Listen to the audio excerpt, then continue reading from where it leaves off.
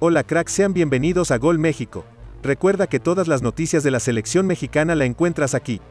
Panamá versus El Salvador hoy. ¿Cuándo, a qué hora y por qué canal ver en vivo el juego por la fecha 3 del Campeonato Sub-20 de la CONCACAF 2022?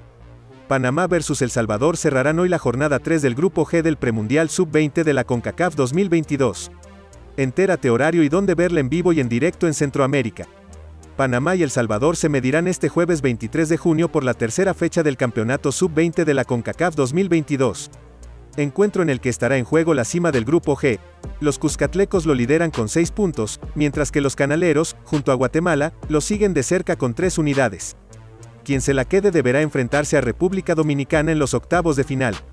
Recordemos que en esta edición del Premundial Sub-20 los cuatro semifinalistas sacarán boleto al Mundial de Indonesia 2023, mientras que los dos finalistas clasificarán a los Juegos Olímpicos de París 2024. A continuación, todo lo que tenés que saber del juego.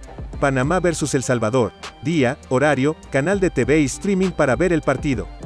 Las selecciones de Panamá y El Salvador disputarán su cotejo hoy, jueves 23 de junio, desde las 6.30 de la tarde de Centroamérica, 7.30 de la mañana de Panamá, en el Estadio Nacional de Tegucigalpa.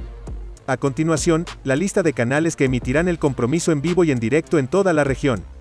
Panamá vs El Salvador. ¿Cómo llega la rojita? Podría catalogarse como agridulce el inicio de Panamá en el certamen sub-20. A la demoledora goleada 5 a 0 que le propinaron a Aruba siguió un duro revés la derrota 3 a 1 frente a Guatemala. Los canaleros fueron insistentes en ofensiva, pero a la falta de claridad se le sumaron errores propios que los penalizaron severamente. Además, el atacante Raimundo Williams dejó el campo al 18 por lesión y no estaría a disposición de Ángel Sánchez. Panamá versus El Salvador. ¿Cómo llega la azulita? El Salvador está teniendo un gran premundial hasta el momento, con buenas actuaciones colectivas e individuales. Primero golearon 5 a 1 a Guatemala y luego 4 a 1 a Aruba. Sin embargo, pese a Gerson Pérez aseguró que los Chapines eran el rival más arduo, la que se avecina será una prueba interesante para la selecta.